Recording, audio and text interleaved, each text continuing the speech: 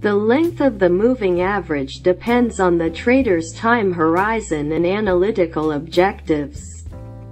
Short moving averages, 5 to 20 periods, are best suited for short-term trends and trading. Chartists interested in medium-term trends would opt for longer moving averages that might extend 20 to 60 periods. Long-term investors will prefer moving averages with 100 or more periods. Some moving average lengths are more popular than others.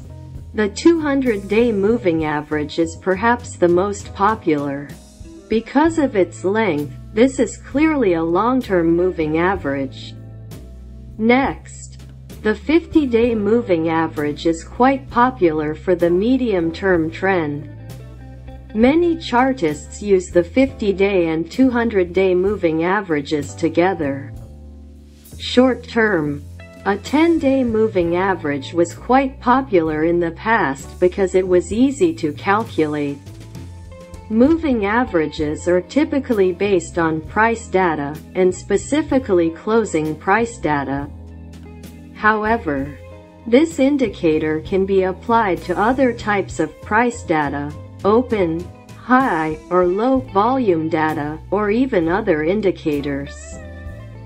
The example on the screen shows a chart with a 50-day SMA applied to the volume bars, and a 20-day EMA applied to the RSI indicator.